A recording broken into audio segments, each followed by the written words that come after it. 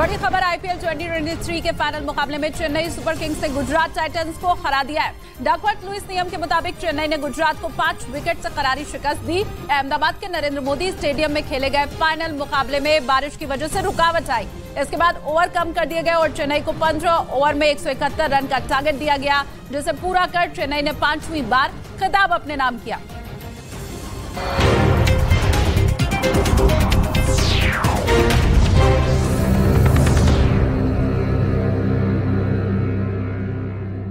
का ये पैंतरा भी काम नहीं आया और शहबाज सरकार ने इमरान खान से बातचीत करने से इनकार कर दिया। जिसके बाद पाकिस्तान के पूर्व प्रधानमंत्री इमरान खान ने ऐलान कर दिया कि वो जल्द ही कुछ बड़ा करने वाले हैं। इमरान खान ने ये जानकारी एक दिन पहले लाहौर में मौजूद अपने घर में पाकिस्तानी मीडिया से बातचीत करते हुए दी। साथ ही ये आशंका भी जताई कि उनके खिलाफ पाकिस्तान की सरकार जल्द ही कोई बड़ा कदम उठा सकती है। और इमरान का कहना तो ये तक है कि पाकिस्तान की सरकार उनके खिलाफ साजिश रचकर उन्हें दोबारा जेल भी भेज सकती है। उन्होंने मीडिया से बातचीत करते हुए ये आरोप लगाया कि शहबाज शरीफ सरकार कोर्ट पर दबाव बनाकर उन्हें चुनाव लड़ने से रोकने की प्लानिंग में लगी है। इसके अलावा इमरान खान ने यह भी दावा किया कि आने वाले वक्त में बड़ा पर्दाफाश कर सकते हैं। और माना जा रहा है कि ये पर्दाफाश उनकी हत्या की साजिश से जुड़ा हो सकता है।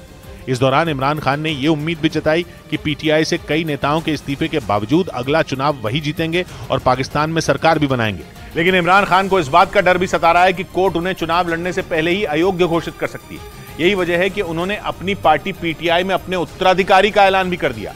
मीडिया से बातचीत करते हुए इमरान ने ऐलान किया कि उनके बाद शाह महमूद कुरैशी पार्टी की कमान संभालेंगे। और इमरान की गैर मौजूदगी में शाह महमूद कुरैशी ही इमरान की पार्टी पीटीआई से जुड़े फैसले लेंगे। शाह महमूद कुरैशी इमरान खान के करीबी और उनकी पार्टी पीटीआई के दूसरे नंबर के नेता माने जाते हैं। यही वजह है कि जेल जाने के डर से घबराए इमरान खान ने अब उन्हें अपनी पार्टी की कमान देने का फैसला कर लिया। क्योंकि उनकी पार्टी के कई बड़े नेताओं ने पिछले एक हफ़्ते के अंदर इमरान खान से किनारा कर लिया। दूसरी तरफ़ खुद इमरान खान को दोबारा गिरफ्तारी का डर सताने लगा है। माना जा रहा है कि इसी वजह से उन्होंने पार्टी की कमान शाह महमूद कुरैशी को सौंपने का ऐलान कर दिया ताकि उनकी गैर मौजूदगी में भी पार्टी का काम जारी रह सके।